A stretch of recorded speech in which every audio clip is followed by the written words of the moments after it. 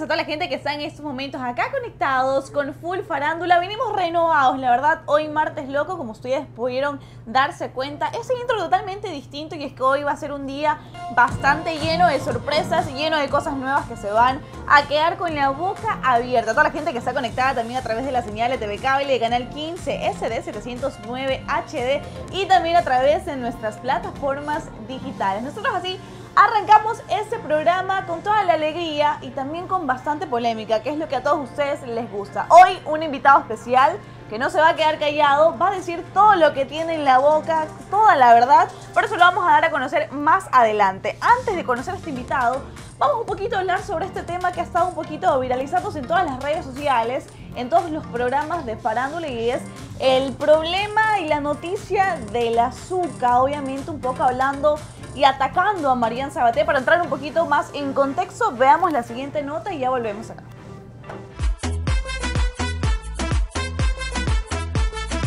y pobrecito, no tuvo una madre que le supo asesorar. Le escribí en interno. Le dije, hijito, a esta, esta perfecta desconocida hizo esto, esto. Y acuérdate que hace poco estuve en tu casa y tú sabías toda mi vida. ¿Te respondió o te dejó en Me respondió como un niño. Ay, y te voy a bloquear.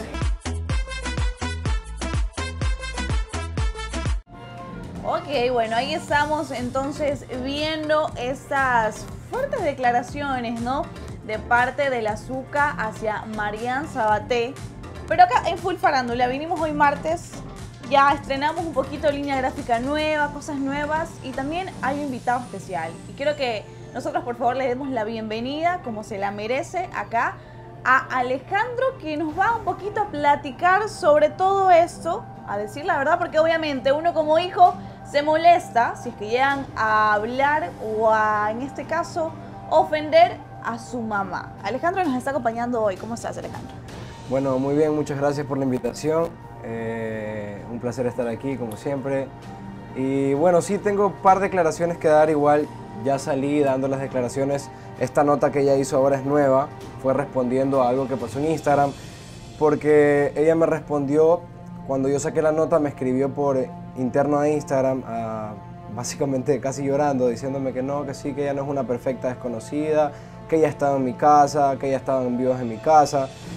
Y obviamente le respondí diciéndole, porque ella trató de hacerme daño, yo le dije la verdad de lo que había pasado, le dije, acuérdate que cuando tú estabas con un cocinero, que en esa época era tu marido, te terminó porque llegabas a la casa, te bajabas los pantalones y te orinabas en el cuarto. Eso fue lo que yo le puse. Entonces la bloqueé y seguí con mi vida. O sea, ella te buscó, o sea, antes de que pasara todo eso, te buscó a través de Instagram, un poco para tratar de calmar las cosas, de pedirte disculpas y que ya... No, no, no, me buscó para seguir peleando. para seguir peleando. Ok, entonces no le bastó con la cámara que quería seguir peleando y de ahí murió la conversación, ¿te ha vuelto a buscar? La verdad es que la tengo bloqueada, no sabría si me va a buscar, pero lo más probable es que sí, que me haya subido en sus historias pero igual yo ya salí dando declaraciones, ella se sintió muy dolida con las declaraciones y me escribió, me dejó comentarios en Instagram, le escribió a mi mamá, le escribió a mi hermana, entonces... ¿Tu mamá qué dice de todo eso? Porque, bueno, Mariano es una persona que tiene una gran trayectoria, una gran profesional y la verdad es que, obvio, si una persona viene de, de pronto que no tiene tanta trayectoria, quizás a tu mamá le ha de resbalar por toda la carrera y lo profesional que es. Pero, ¿qué ha dicho ella sobre esto? No en cámara, sino ¿qué te ha dicho a ti? Si algo aprendido de mi mamá es que dale de comer con la mano y te la van a morder. Entonces, yo creo que mi mamá fue una de las personas que igual ha apoyado en su tiempo y cuando le das la mano a alguien siempre se te trepa el codo, la mayoría de las veces es así, quiero creer que no siempre es así.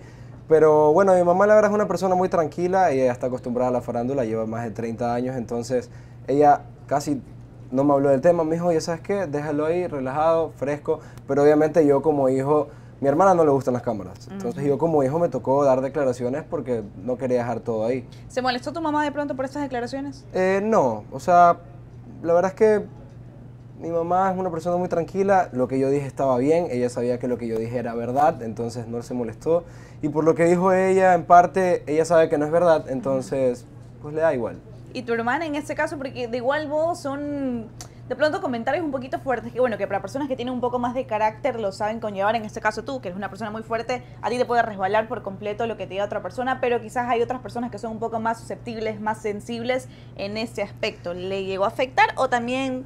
Bueno, porque no- también hay un dicho que dice, de, te duele, de, de- depende de quién venga el comentario. Claro, exacto. Y como no la conocemos, la verdad es que no nos duele.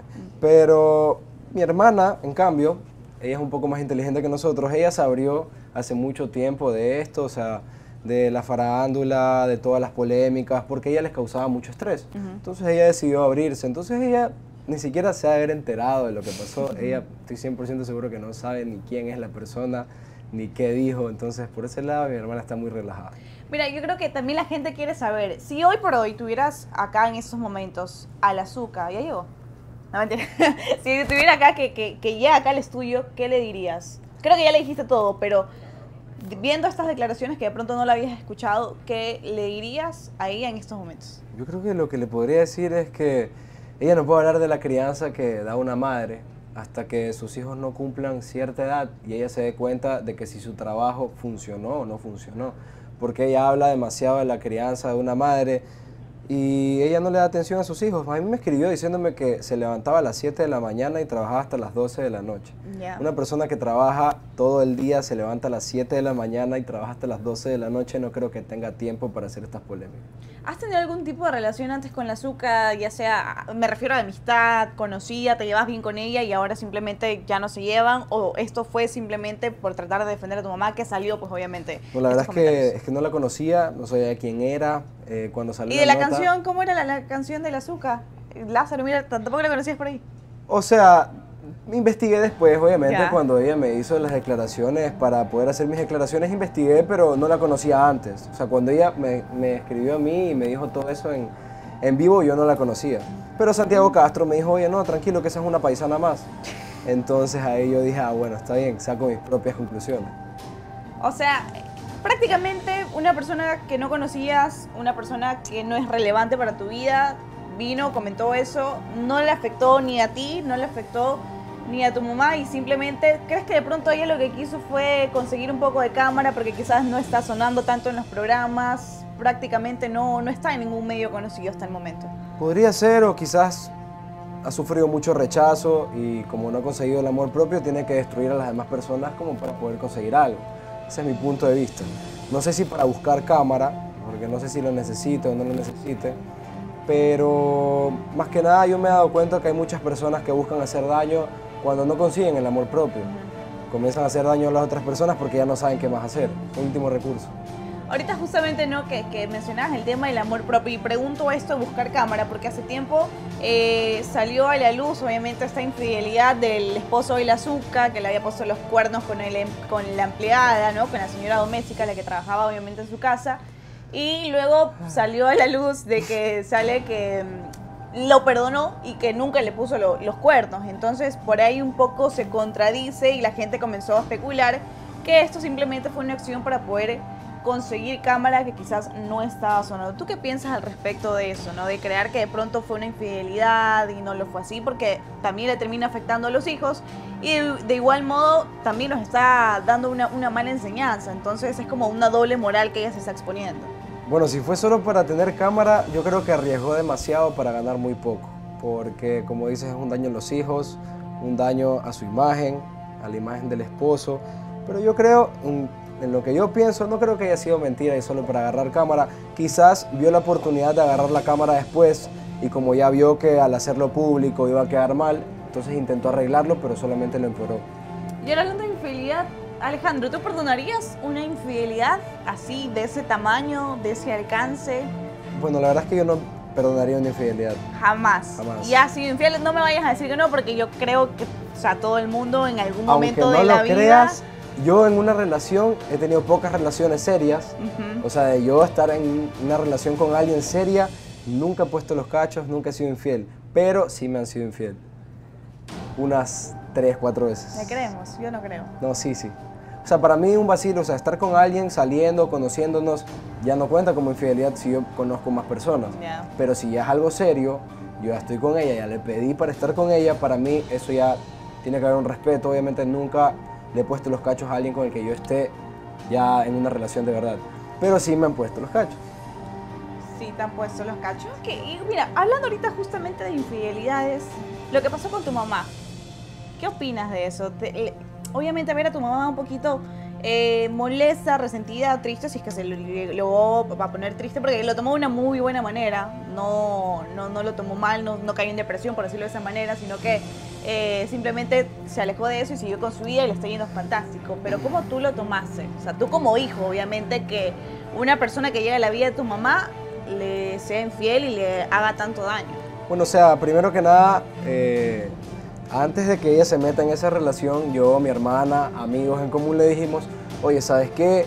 Tú estás llevando las cosas muy rápido, ese señor lo más probable es que te termine poniendo los cachos. Ya le habían advertido. Ya le habíamos entonces. advertido varias veces. Ah, ok. Porque igual, obviamente, tú sabes que un hombre conoce a un hombre, o sea, es, fácil. Ujú. Tú te das cuenta cuando un hombre quiere algo serio y no quiere algo serio.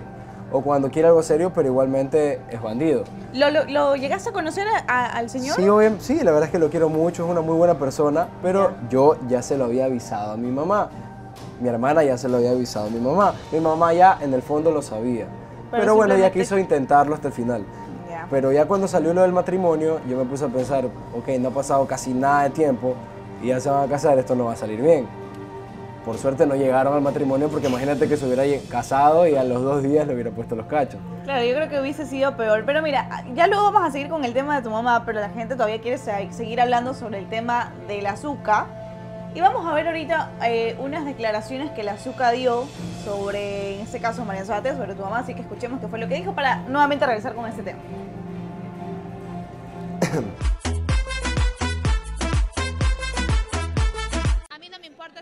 si digan que viene una trayectoria, si me hice conocida por tal persona, no hice conocida. Si es la reina de la prensa rosa por sus miles de hombres o novios que ha tenido en la vida, no es mi problema, es su problema. Pero sí siempre me voy a defender cuando hablan de trayectoria, no tenga trayectoria o si tenga trayectoria, lo que vale es lo que tengo. El día que me quede sin trabajo en la televisión, yo puedo vivir en paz y voy a poder pedir tranquila y no voy a estar mendigando situaciones o cosas. Ojalá toco madera y que no me pase porque siempre me ha dado Dios dos manos y dos pies para trabajar. La farándula no aporta nada en la televisión. La televisión, si no es algo educativo, no aporta nada. No aporta valores, no aporta nada. No soy digna, no aporto nada, no soy, no soy el mayor, no soy la mayor ejemplo. Esto es posible. No soy la, mayor, la, la persona que da eh, la- eh, valores o consejos en la vida, no soy perfecta, pero soy ser humana. Y lo que yo brinde de la puerta para adentro a mis hijos es lo que vale. Lo que ustedes ven en pantalla a veces es lo que, es lo que una persona no lo es. Entonces, yo me quedo con eso, no me voy a hacer la linda, voy a decir, sí, aporto demasiado porque soy la María Teresa de Calcuta y soy la mujer más, no sé qué. Yo sé que a lo largo de la vida, la, la- la vida y, y la universidad me prepararán, me voy a graduar y puedo enseñar mi título y me voy a sentir orgullosa de mí misma porque yo quiero, no porque las otras personas quieren.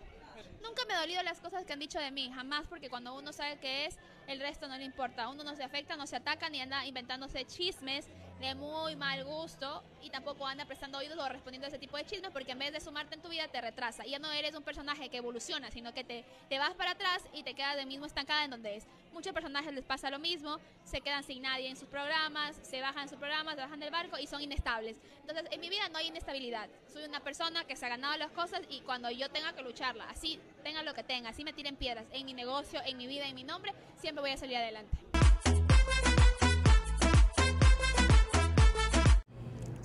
Bueno, ahí estábamos viendo, ¿no? Escuchando, quizás para Alejandro también por primera vez que escucha e- esta, esta nota, que escucha en este caso las palabras del azúcar. Y antes de ir un poquito con la respuesta de él, voy un poco acá a enfocarme a lo que dice el azúcar.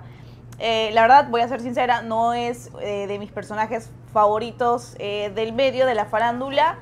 Pero obviamente uno como persona, como estando acá, tiene que respetar la opinión de cada personaje, de cada figura obviamente pública del medio. Ahora, ella mencionaba, ¿no? Un tema bastante importante, dice que ella no vive de la farándula, que si fuera por la farándula, pues la farándula simplemente muere ahí, que ella obviamente tiene otros ingresos para poder sobrevivir. Y ahí es donde yo pregunto, si no vives de la farándula, si la farándula no te suma, no te importa, entonces, ¿qué haces metida en la farándula? Incluso tiene un programa radial de farándula. Entonces son cosas como muy contradictorias que lastimosamente, quieras o no, a veces poco tratar de, rescatarla y que no quede tan mal, lastimosamente no se puede porque obviamente ella misma se hunde y aquí voy y ahora sí quiero saber tú qué piensas Alejandro sobre estas cosas que ella mencionó, mencionó muchos temas, tema de trayectoria que ella lleva, eh, no la misma trayectoria de tu mamá, pero en este caso eh, ella puede vivir sin la farándula? Como dándole una punta, una indirecta de que tu mamá sin la farándula no puede vivir. Bueno, o sea, la verdad es que se me hace muy extraño que ella diga eso porque mi mamá si no tuviera la farándula pudiera vivir de las redes sociales, solamente del Instagram ya podríamos vivir tranquilamente. Eh, por Reel se les va muy eh, bien. Eso iba a preguntar, ¿cuánto factura tu mamá en redes sociales? Digamos, un aproximado. Un aproximado no te podría decir con exactitud porque tampoco puedo tirar números, pero es un sueldo mucho mayor que lo que se puede ganar en farándula, eso sí te lo aseguro. ¿Podríamos decir el, el doble de un sueldo básico? El, ¿O el triple? Triple, El quizás, triple de el un triple, sueldo quizás. básico. Ok, está. Eh, y bueno, la verdad es que me costó entenderle lo que decía porque habla demasiado rápido, parecía que la nota estaba al 2.5. Eh, ella se trabó muchas veces, dijo que iba a entrar a la universidad y que quizás ahí iba a poder aprender. Bueno, espero que antes de entrar a la universidad aprendas ortografía, clases de léxico y del lenguaje y literatura porque le falta muchísimo. Y bueno, nada, es muy hipócrita una persona que dice que no vive de la farándula, pero sin embargo sigue trabajando en la farándula y tiene un programa de farándula. Desde esa parte ya sabemos que algo está mal. Entonces, por mi lado, ella es muy hipócrita. Yo ya dije todo lo que tenía que decir y bueno, la verdad es que me da igual. Bueno, Alejandro, entonces ahí están las declaraciones de él. que le da completamente igual lo que piense, en este caso, el azúcar. Tu mamá está feliz, tu mamá está contenta, tú estás contenta, tu hermana también está contenta y yo creo que eso es lo importante. Así que ahora sí le voy a pedir un poquito a producción que me cambie esa música de polémica. Vamos a cambiar un poco el aire, el ambiente, la escenografía que se vive acá en Full Farándula, dejando a un lado la polémica también, que tenemos ese generador a un lado. Y ahora sí me voy a enfocar en, en- ti, Alejandro, en cómo te va en tu carrera musical. Porque más allá de toda la polémica que viniste acá un poco a defender a tu mamá, también queremos que nos platiques un poco sobre tu carrera musical, cómo ha ido creciendo poco a poco, que de pronto iniciaste de cero y hoy por hoy pues va ido evolucionando, vas ido escalando. ¿Cómo te sientes tú con eso? Bueno, la verdad es que me siento muy bien con mi carrera musical. Eh, yo inicié desde cero, como dices, con un micrófono en mi casa, completamente solo. Lastimosamente, eh, en este mundo de la música hay muchas malas manos. Eh, yo inicié con una disquera, a la que prefiero no decir el nombre, hace mucho tiempo atrás, pero tuvimos unos problemas y me tocó borrar la mayoría de la música que había subido. Solo pude rescatar un par de canciones, pero desde a inicios de este año comencé a trabajar con una nueva disquera que es una de las más conocidas en Ecuador de música urbana, que es los Motherfucker Studio. Para mí es la mejor disquera que hay en el país. Eh, tienen artistas muy reconocidos a nivel mundial incluso. Y bueno, con esta disquera las cosas están saliendo muy bien, estamos sacando muy buena música. Eh, en estos dos meses voy a sacar cinco géneros distintos para que te hagas una idea. Vamos a sacar rock, corridos, afrobeat. Reggaetón la verdad es que aún no hago porque soy un experto en el tema, no sé, nunca he escrito reggaetón, pero probablemente lo haga. Igual quizás antes no solía escribir música comercial, hacía música para mí, hacía música para mis gustos, pero ahora ya estoy tratando de hacer música para los demás. Ahora que mencionabas, ¿no? El tema del rock, este, que de pronto no lo has incursionado tanto, pero ¿te gustaría realizarlo en algún futuro o prefieres mantenerte en el género pop, rock, como lo has hecho pues, hasta ahora? Bueno, la verdad es que sí, porque estoy haciendo géneros que antes no había hecho, corridos tumbados, nunca había hecho un corrido tumbado, es muy difícil de hacer, necesitas un equipo de trabajo muy grande, pero ya grabé mi primer corrido, grabé mi primer rock, grabé mi primer afrobeat, entonces yo creo que sí se puede si, si estudias y analizas y estás rodeado de las personas que te ayudan a seguir y a sumar, entonces yo creo que sí se puede. En cuanto a tu alrededor, tu mamá también te apoya mucho en esta carrera, tus amigos, las personas cercanas también te impulsan mucho y eso también es, es muy importante, ¿no? ¿Cómo te sientes de tener alrededor tuyo a personas que quieran ayudarte a superar y obviamente apoyarte en esa carrera que quizás para algunas personas eh, no es tan importante, no es tan relevante y a veces no apoyan a las personas? Exacto, yo la verdad por eso es que tengo mi círculo social muy cerrado. Mi círculo social es muy cerrado porque la mayoría de mis amigos, por no decirte todos, los otros no están en el país, son personas que me apoyan incondicionalmente en lo que hago siempre, así no sea la música, así sea el modelaje, así sea cualquier cosa loca que yo vaya a hacer, ellos me apoyan. Entonces, por ese lado estoy contento. Mi mamá eh, siempre me ha apoyado en todo lo que he hecho, en el modelaje, en la música, en todo me ha apoyado, entonces por ese lado muy bien. Ok, Alejandro. Bueno, no sé si de pronto en tus redes sociales tú compartas lo que tú haces, tu trabajo, las canciones, el modelaje, para que igual la gente un poco conozca eh, no el lado polémico de Alejandro, sino también el lado artístico, ¿no? Y tu carrera, para que le puedas decir a la gente cómo te puede encontrar en las redes sociales. Bueno, me pueden encontrar en Instagram como arroba Alejandro S. Y nada, ahí encontrarán todas las páginas, Spotify, Apple, podrán encontrar todas mis plataformas digitales, hasta las prohibidas, así que... ¡Ay, cierto, también! también! Del OnlyFans, ¿Cómo, cómo, cómo va eso? ¿Cómo bueno, la verdad es que todo? OnlyFans, eh, estuve mucho tiempo inactivo, pero OnlyFans es muy, muy bueno. Para cualquier persona que se quiera incursionar a OnlyFans, de verdad deberían de hacerlo. Las redes sociales es lo que más dinero da hoy en día. Eh, y bueno, a mí me gusta mucho OnlyFans por el tema de que yo antes lo hacía solo. Ahora he hecho unas colaboraciones con algunas amigas mías que también tienen OnlyFans, pero usualmente siempre fue solo. Fueron fotos que yo sé que subiría a Instagram si fuera legal, pero no es legal, que las subo mejor a una plataforma donde le puedo sacar algo de dinero, entonces prefiero subirlas a OnlyFans. Y bueno, la verdad es que bastante, a mí se me hace bastante divertido, es una buena forma de pasar el tiempo. La hago profesional, no es como que subo fotos así con el celular. Entonces, sí, vayan a suscribirse a mi OnlyFans.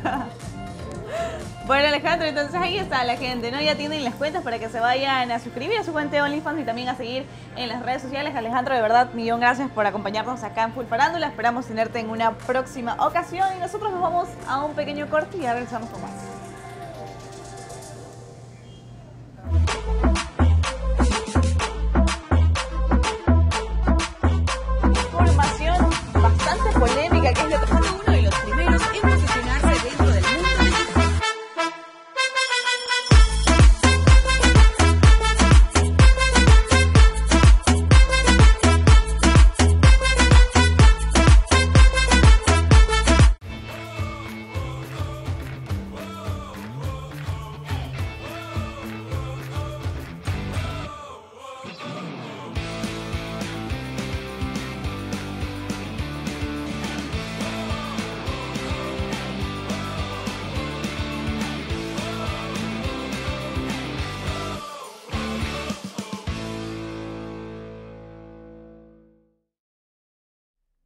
Manaví ya sufrió el fenómeno del niño con gran intensidad entre 1997 y 1998.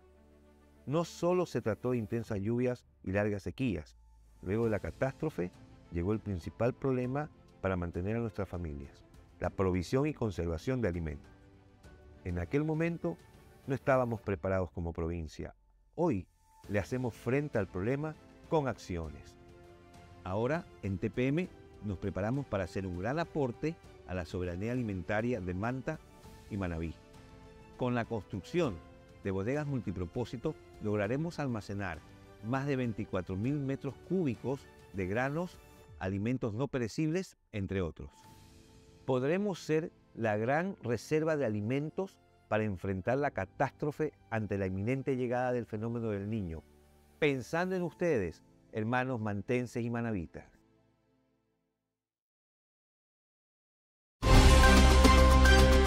Principios, valores en la sociedad.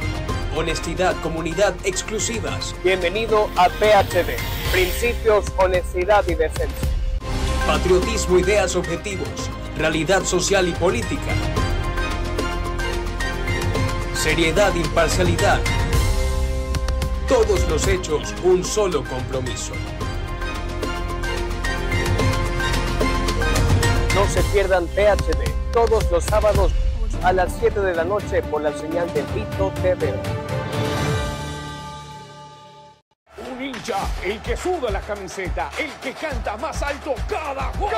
Hincha amarillo, pasión, orgullo incondicional a Barcelona. Únete a nosotros de lunes a viernes a las 14 horas por Vito TV.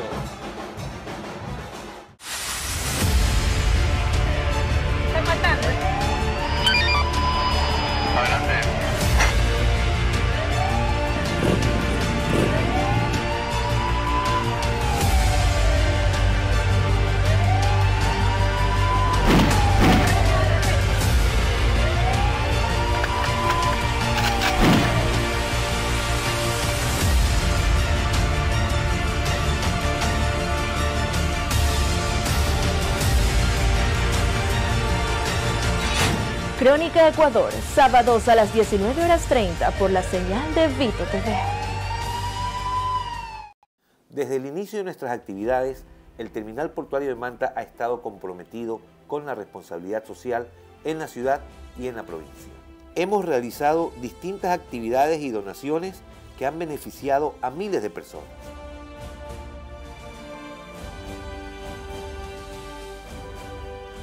Seguiremos trabajando y aportando al desarrollo social y humano de esta emblemática región costera.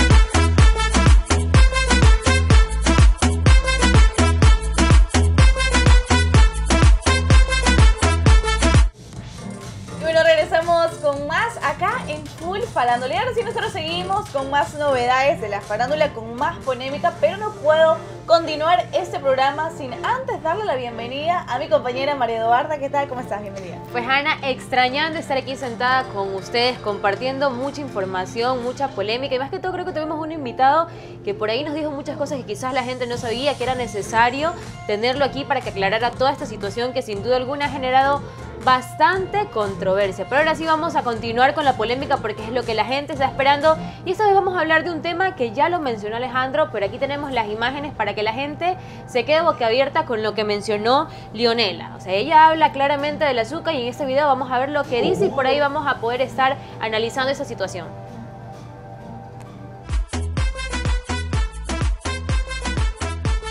cara si tú sabes que tú estabas con un cocinero y te dejó porque cuando te emborrachabas ibas a la casa, te bajabas los chones y te meabas? ¿Con qué cara, mujer? ¿Que la persona se meaba? ¿Se meaba? ¿En dónde? En la casa, en el cuarto. Dios santo, esa no se me la lo sabía. bajaba y ¡ping! se meaba. Bueno, ahí estábamos viendo, ¿no? Pues, perdón, las declaraciones de Leonela un poquito fuertes, la verdad. Y mira, bueno, yo no sé eh, el, tipo de farándula que, que realice eh, esta chica, y, lo digo a todo corazón, sin tratar de, o de ofenderla o de menospreciarla, no, no la conozco, no, no sabía quién era, pero bueno, un poquito escuchando cuáles fueron, pues, eh, cuál fue su comentario, ¿no? Ante esta controversia, está bien, un poquito... em, creo que hay una diferencia muy grande entre hacer farándula y comentar algo de una manera eh, donde tú quieras defender o en ese caso atacar hacia la persona que esté implicada, pero de faltarle el respeto y, hablarlo de una manera un poquito eh, no, no ética, no correcta, y creo que también la deja mal parado. En este caso no la azúcar, sino a, a ella como, como persona y como presentadora. Ojo, esto es opinión de cada persona, puede que para unas personas les dé risa, esté bien, para mí al menos que tengo quizás otros valores, otros principios o otra manera de ver las cosas, lo veo eh, de una manera totalmente eh, distinta, como una falta de, respeto completamente. Yo creo que también el hecho de que tú estés parada en una eh, al, frente de una cámara no te da el derecho en este caso pues de atacar a una persona o decirlo de esa manera, ¿no? Que decía que bueno, que, que, ella se, se orinaba, ¿no? Con otra, ot- otro, otro término. Entonces yo creo que hay que tener un poquito más de respeto a- hacia la persona. Si es que de pronto la azúcar hacía o no hacía eso con su expareja, yo creo que eso ya también es cosa de ellos. O sea, no hay por qué sacarlo a la luz eh, o, o comentar de eso o volverlo a, a mencionar algo que quizás ya en su momento se sabía y murió ahí.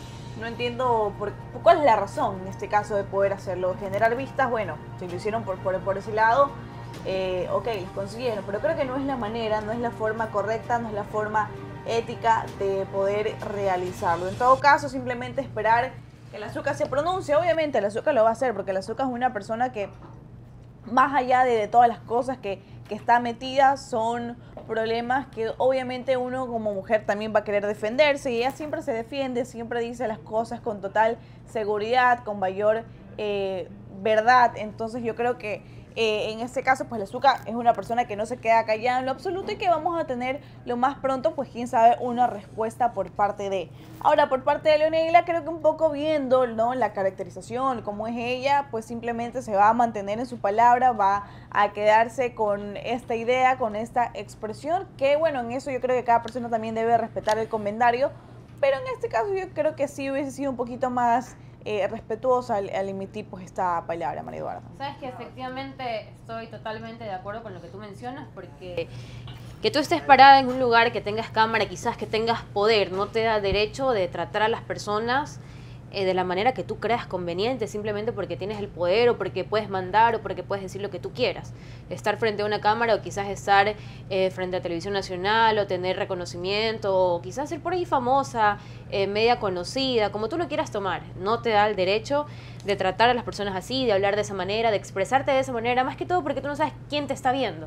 Y efectivamente, como lo menciona Ana, dejas mucho más que decir de ti que el resto de personas, o en este caso de quien se estaba hablando, del azúcar. O sea, que tú vengas y comentes este tipo de situaciones que creo yo que son irrelevantes y que solo le interesaría, en este caso, al azúcar por el hecho de atacarla, porque no creo que sea simplemente porque se te ocurrió en ese momento lanzarla esa o simplemente por quizás hacer una, no sé, eh, ligar un tema con el otro y simplemente sacaste eso, lo dijiste porque te dio la gana. Entonces yo sí creo que debes de tener un poquito más de tino para hablar frente a una cámara. Quizás no soy la persona más experta en hacerlo, efectivamente, pero considero yo que tienes que tener hasta valores, no sé, modales, educación para hablar frente a varias personas, porque no, no es solamente tus amigos los que te están viendo, son muchas personas, tanto a nivel nacional, internacional, que te pueden estar viendo eh, desde otro país. Efectivamente se sabe que este es un, medio que está sonando, que, que es reconocido, y así también la gente va a hablar de lo que tú haces, de lo que tú dices, y si solamente fue el hecho de que tú dijiste lo que dijiste, haciendo referencia a esta palabra que a mí me parece totalmente eh, vulgar, para ser sinceros, porque creo que hay otros términos para poder decir lo mismo sin necesidad de decir ese tipo de palabras tan eh, groseras de una u otra manera, que me parece que es como que no tuviera, no sé, educación o cultura de una u otra forma. Entonces, eh, si tú quieres decir algo para la próxima, desde mi punto de vista, considero, ojo, desde mi, desde mi punto de vista, desde el punto de vista de María Entrego, considero yo que está de más eh, mencionar ese tipo de palabras porque me parece totalmente fuera del lugar más que todo. Porque si ella se quiere dar a conocer de una manera que diga, bueno, ella es una eh, persona del, medio, de la farándula, que tiene mucho que dar, es muy inteligente, tiene por ahí su, astucia, es viva, tiene todo, todo para poder sobresalir dentro de, ese mundo de la farándula, dentro de cualquier medio, para no ser exactos, eh, sí creo que se, debería tomar en cuenta este tipo de cosas, como que hablar de una manera distinta. Efectivamente, quizás dentro del programa se lo permiten, porque hay también tener esto en cuenta, que quizás se lo permiten, le permiten utilizar este tipo de palabras eh, para poder referirse a una persona, a una acción o cualquier situación porque así también el, el, el, programa se hace de una u otra forma conocido, porque efectivamente considero yo que así es, o sea, no es que sea eh, malo, pero si el programa lo considera así, está bien. Desde mi punto de vista, si tú quieres que te vean de otra forma, eh, sí deberías de cambiar ese tipo de actitudes o ese tipo de comentarios, porque a mí me parecen totalmente fuera de lugar. Ahora bien, si ella hizo lo que hizo con su antigua pareja, creo que eso es algo que no le interesa absolutamente a nadie más que ella. Creo que es un tema totalmente bochornoso, totalmente imprudente mencionarlo en, en este caso dentro del del programa o dentro de lo que ella quiere lograr, no sé qué, qué tan, no sé qué tanta eh, no sé, rencor le puede tener al azúcar como para sacar este tema a colación. Pero efectivamente, si ella considera que es lo correcto, eso ya queda en ella. Esperemos ver las declaraciones del azúcar de aquí mañana, a ver qué dice, porque efectivamente las va a hacer y creo que no la va a dejar tampoco bien parqueada a Leonela, que como lo mencionó Ana, yo tampoco tenía el placer de conocerla, la vinimos a conocer el día de hoy. Esperemos por aquí verla algún día, de pronto quizás también da unas declaraciones de lo que estamos hablando en este momento, así que estaremos atentos a toda esta situación, pero el programa ha sido breve, ha sido recargado de muchísima información y con nosotros fue todo por el día de hoy aquí en Full Farándula. Espero les haya gustado y espero estuvieran totalmente conectados con todo lo que estábamos hablando.